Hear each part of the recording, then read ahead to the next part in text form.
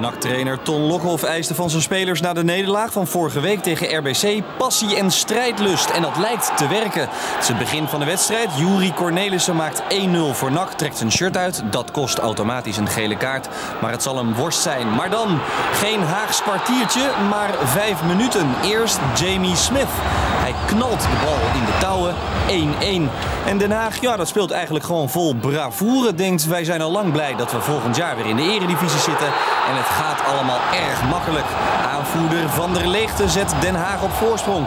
Een droog schot van afstand. Twee minuten later, daar gaat hij weer. Ja, neem eens aan, wacht eens, kijk eens. Een lopje, prachtig hoor, van Bodden. Dan gaat Van der Gun samen met Stroeven op de bal af. En Stroeven is het uiteindelijk die de 3-1 binnenknikt. En dan is Nak eigenlijk gesloopt. Vlak voor de rust wordt het ook nog 4-1 voor ADO. Polak wordt diep gestuurd. Die schiet met zijn linkerbeen het best. Ook nu is dat het geval. 4-1 met de rust. En het publiek schreeuwt om 10. 10 treffers wel te verstaan. Dat lukt niet. Nak lijkt een beetje opgedroogd aan het begin van de tweede helft. Dit is aardig voorgelegd. Kousenmakers. Maar het geluk is er ook niet voor Nak deze middag in het Zuiderpark.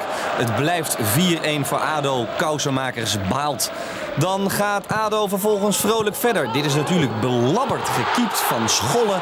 En daar reageert Sijs, Jean-Paul Sijs, alert op 5-1. NAC heeft helemaal niets te vertellen. ADO combineert dan een minuut of twee. Het publiek doet vrolijk mee. En dan is Slot het meer dan zat. Belachelijke overtreding. De frustratie druipt er vanaf bij de speler van NAC. Hij krijgt zijn tweede geel en dus een rode kaart. NAC moet dan ook nog met 10 man verder. Kan Den Haag profiteren? Jazeker, want Den Haag blijft gewoon vrolijk combineren. Ook door het centrum. NAC verdedigt als F-pupillen. Ja, denkt Van der Gun, laat ik hem maar eens breed leggen op Den Oude. Die is net ingevallen en pikt ook zijn doelpuntje mee. 6-1 maar liefst voor Den Haag.